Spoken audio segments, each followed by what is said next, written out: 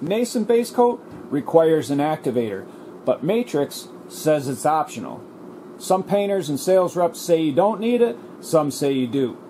Today though, we're going to see how it goes spraying Nason base coat without the required hardener. The main reason is to save on paint as you can throw what you don't use back in the can and you don't have to spend money on the hardener.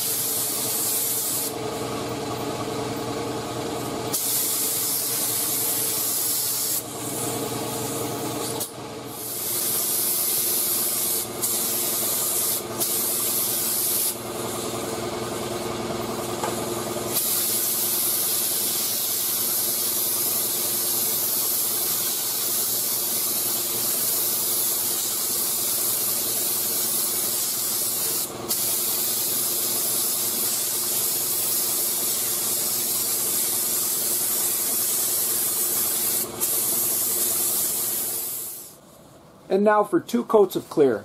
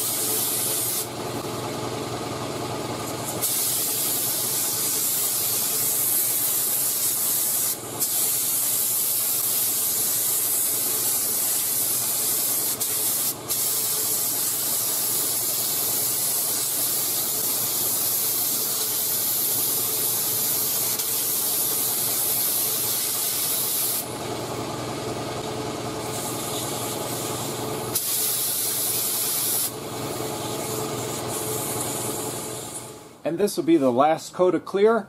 We're going to try to get it real wet.